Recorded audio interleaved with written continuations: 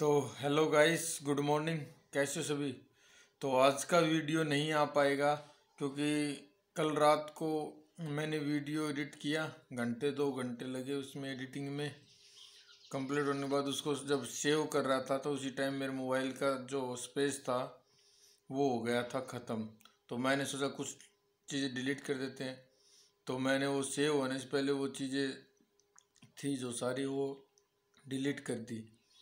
और delete delete में वो साथ में वीडियो था, वो भी डिलीट हो गया रात को। तो साथ में क्लिप भी डिलीट हो गई और साथ में वीडियो भी डिलीट हो गया।